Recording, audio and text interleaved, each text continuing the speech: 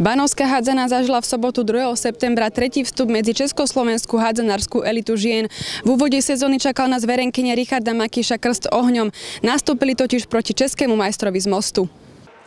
Na dievčatá čakal jeden z najpamätnejších zápasov v histórii klubu. Vďaka nemenovanej televíznej spoločnosti si súboj medzi nováčikom súťaže a českým majstrom mohlo pozrieť celé Slovensko. Tí, čo si sadli k televíznym obrazovkám alebo prišli do mestskej športovej haly, videli už v 37. sekunde gól slovenskej reprezentantky Sarkovej, hrajúcej v službách Českého mostu. S veľkým favoritom stretnutia sme dokázali držať krok do polovice 5. minúty, kedy Alžbeta Obstová z vyrovnala na 2-2. Nádejne to na svetelnej tabuli vyzeralo aj na konci 14. minúty po Bencovej gole na 5-8. Žiaľ, nasledujúce chvíle patrili mostu. Celých 13 minút sme nerozvonili sieť za brankárkou Milnerovou. Naopak fyzicky dobre stavané hostky svojou agresívnou obranou privádzali naše dievčatá do úzkých, najvyššie dominovali aj v ofenzíve.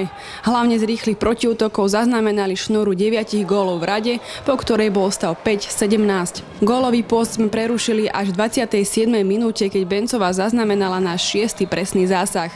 Po prestávke sa zverenkyne Richarda Mankíša zbavili príliš veľkého rešpektu a predviedli oveľa sympatickejší výkon.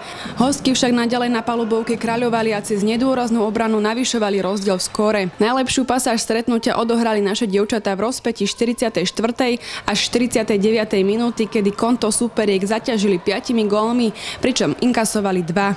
V záverečnej 10 minútovke však hostky prikrášili svoje víťazstvo na konečných 20-41, čím strpčili bánovským dievčatám vstup do elitnej spoločnosti Slovensko-Českej hádzanárskej ligy žien. Za druhým vystúpením v MOL lige pocestujú z verenkyne Richarda Makíša do Zlína. Ten v prvom zápase sezóny prehral v Prahe o dva góly 28-30.